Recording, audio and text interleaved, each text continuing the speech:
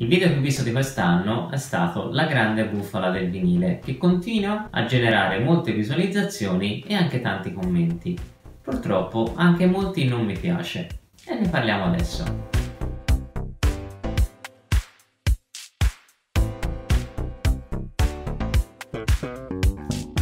La grande bufala del vinile. Faccio scorrere il video qua sotto. Cosa voglio dire veramente? L'impressione è che anche in questo caso molti si siano fermati soltanto al titolo, perché i commenti più gettonati sono Viva il vinile, ma vuoi mettere un vinile rispetto a chi suona con il computer? Ah, ma cosa dici? Non è vero che la bufala del vinile non esiste? Non sto parlando di questo, non sto parlando di quanto è bello il vinile, non sto parlando di quanto è bello il suono del vinile.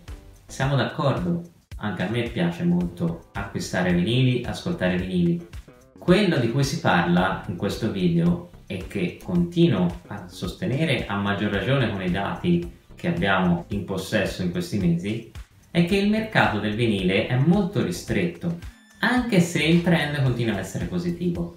Questo è il punto.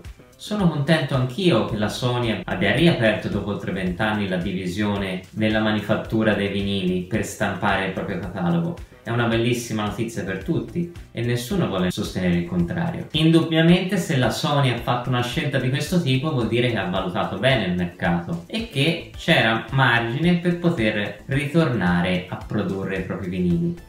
Il problema è che il mercato è ristretto, soprattutto il mercato del nuovo, i cui numeri sono veramente veramente bassi. Alla FNAC a Parigi c'è un intero reparto di vinili, cosa che non era così 5-6 anni fa. Questa è una buona notizia. Il problema è che ad essere acquistati sono soprattutto i vecchi dischi del catalogo, invece che gli album che escono insieme ai nuovi CD. Perché è difficile che qualcuno si prenda un doppio LP che costa 30 euro. È molto più probabile che oggi si vada a comprare una ristampa di The Dark Side of the Moon o una versione particolare invece che l'album appena uscito. Ed è questo il punto su cui verteva il video precedente ed è questo di cui insistere a parlare di grande bufala del vinile. È vero che il vinile è tornato di moda, però gli appassionati che comprano e ascoltano i vinili sono purtroppo ancora molto pochi e difficilmente il vinile riesce a far breccia sulle nuove generazioni, salvo in rarissimi casi.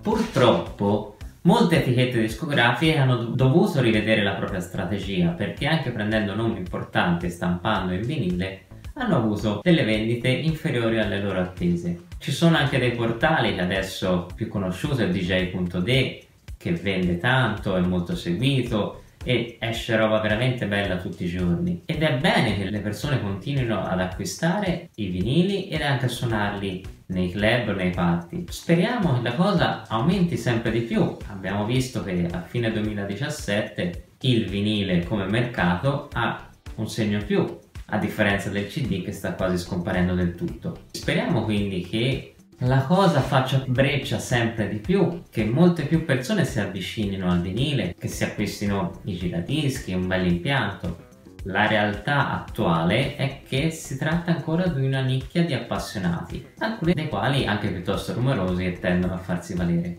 Per l'ultima volta, nessuno è contro il vinile, non si parla dei DJ che devono suonare il vinile al posto del computer, stiamo parlando di mercato. I numeri del vinile ancora oggi sono decisamente piccoli, in aumento, e quindi potremmo vedere degli sviluppi nei prossimi anni. Continua a seguire i video di Essere DJ oggi, sia su YouTube che su Facebook. Un bel like e alla prossima!